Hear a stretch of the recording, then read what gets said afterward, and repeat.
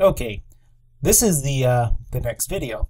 This is only going to make sense to you if you saw the short video immediately preceding this one. In the previous video, I talked about the importance of web optimizing your videos when you're self-hosting them outside of the you know popular sites like YouTube, Vimeo, and Viddler. So this video assumes that you've already installed the free conversion program called Handbrake, which I talked about in the preceding video.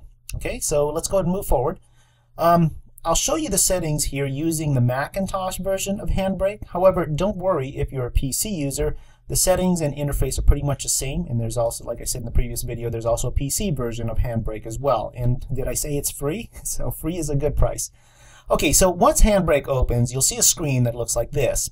Now, there are a lot of options here, and it can look pretty daunting at first, but don't worry. You don't need to know most of the options, and we're not going to talk about all of the options, and I'm going to basically focus and talk you through step by step uh, while focusing only on the ones that you need to pay attention to. Okay, so once inside Handbrake, you'll need to change one of the preference settings, and to do that, we're going to navigate to the top toolbar and click the Handbrake menu next to the Apple logo in this case. Okay, so what you're looking for is the uh, preferences menu. On the PC, it might be under a menu option for tools and preferences or something similar. All right, so go ahead and pause this video and, and make that selection on your program. Okay, so now anyway, um, let's move forward. Click Preferences, and this is going to bring up the new settings window. In the General tab, which is the first tab that you can see, scroll down to the bottom where it says Output File make sure you uncheck the option that says use iPod and iTunes friendly M4V file extension.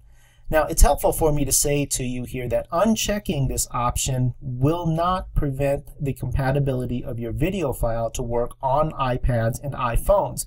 So don't worry about that. If you follow my instructions precisely, your video will be 100% compatible with iPhones and iPads as well as other platforms. All right.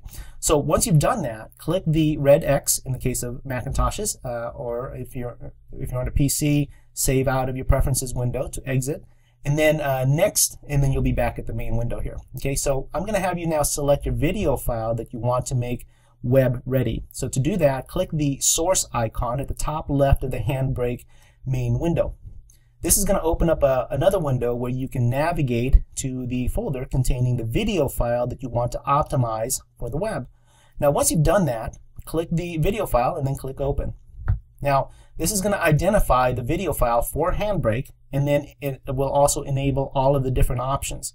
So first of all, we need to make sure that in the drop-down menu next to the box labeled Format, make sure MP4 is selected. Okay, and then uh, moving across and to the right, you'll see three checkboxes. Make sure the option labeled Web Optimized is enabled. That is, put a check mark in it. This is one of the most important settings, so don't skip it. Let me say that again. This is one of the most important settings. Please don't skip it. That's what we're trying to web optimize your video, and uh, uh, it's going to be one of the main ones. There's another one I'll point out later on.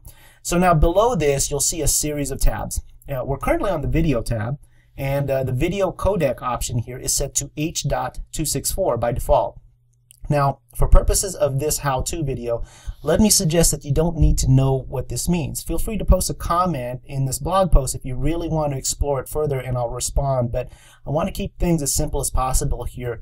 Uh, so let's just go ahead and say that H.264 is the setting that you want. And rest assured, it is the setting to have. All right, so it's a correct one. Uh, so that's it for that. As for frame rate, it should be defaulted already to uh, the value same as source. Okay, so go ahead and leave that alone.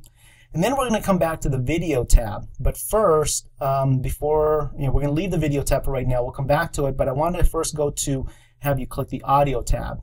Now here, you'll notice a bitrate column. Under this is a pick list. Open that up and choose 128. Again, let's not worry about the differences. 128 is the, uh, the audio bitrate setting that you want to have. Okay. And then next, we're going to go ahead and click the Advanced tab. And under this tab, again, there are a lot of options here, and we can safely ignore most of them. All you need to focus on here is the first option under Encoding. It says Reference Frames. Select the pick list and choose the number 4. All right. Um, moving back to the Video tab, now uh, we now have our, our final settings that we're going to select. So for a video file, the average bit rate over here, this is the one we're going to focus on. Okay, we want to ignore constant quality and we're going to ignore target size. Instead, we want to click to enable the option for average bitrate.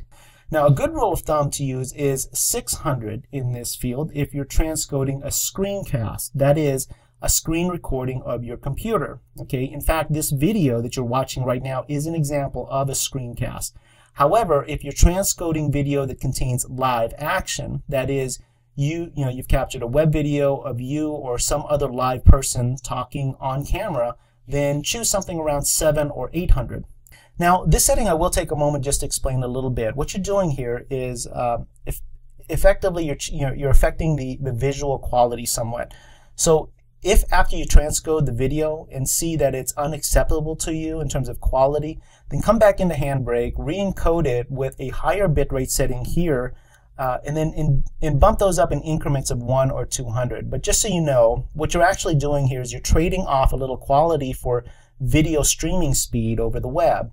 So the higher this number is, and the more data actually has to go from the, the video server to whomever is viewing your video. And depending on their platform and the type of connection that they have, uh, a higher number might result in a video that you know does those annoying stops and starts and sputters and, and so on. So the numbers I gave you is optimum, so begin with those.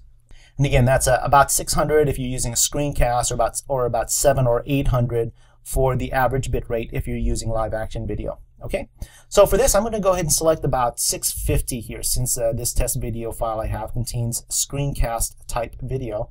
And then finally, we're going to go ahead and select the checkbox labeled 2-pass encoding. And then uh, the last step is to then identify where you want your, your file to be saved. So select the folder on your computer where you want this new file to be saved to. And you can even change the file name here if you want. Now, this is where your transcoded or otherwise converted video file will be after Handbrake is done doing its thing. Okay, so to uh, kick that process off, we'll, uh, we'll press the Start button to begin converting the file. And uh, then just let Handbrake do its thing. It'll tell you when it's done. Okay, once the conversion is complete, Handbrake will confirm this with you, and uh, you'll be able to then navigate to the folder that you selected as the destination folder for your new web optimized video, and you'll be able to then continue and upload this video for online use. All right, that's about it. If uh, you think this helped and uh, want to know more about stuff like this that I write about on screencastingwizard.com, then I hope you'll sign up for my newsletter. Catch you next time. Take care.